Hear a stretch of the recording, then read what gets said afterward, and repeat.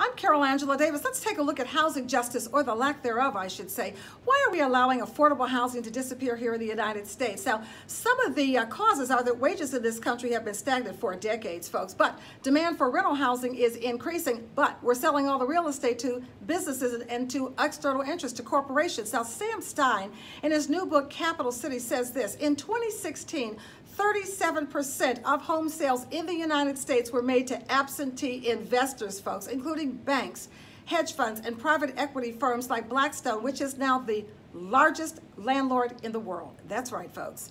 That has tremendous consequences for tenants or for renters. Consider this average move in costs in the United States have more than doubled over the last two decades, okay? But homeownership is at a 50 year low here in the United States, and wages, well, they're stagnant.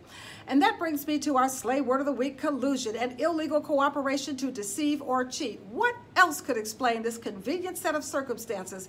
That benefits the wealthy, okay? Now, in fact, Stein says, get this, folks, there is not a single county in this country where a full-time minimum wage worker can afford the average two-bedroom. I don't think so. That's completely wrong. Okay, so come on, people, we got to do better than that. Case in point, New York State, where roughly 90,000 people uh, uh, experience homelessness in any given day, folks. Between 2007 and 2018, the state's homeless population surged 46%, folks folks. That is the highest such increase in the nation, and that comes to us from the Department of Housing and Urban Development. You should also know, folks, that approximately half of New York's 3.36 million tenant households are rent burdened.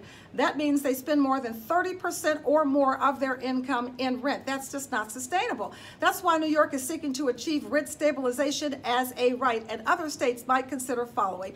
Like me, share me, bookmark me, save me, follow me, News Daily.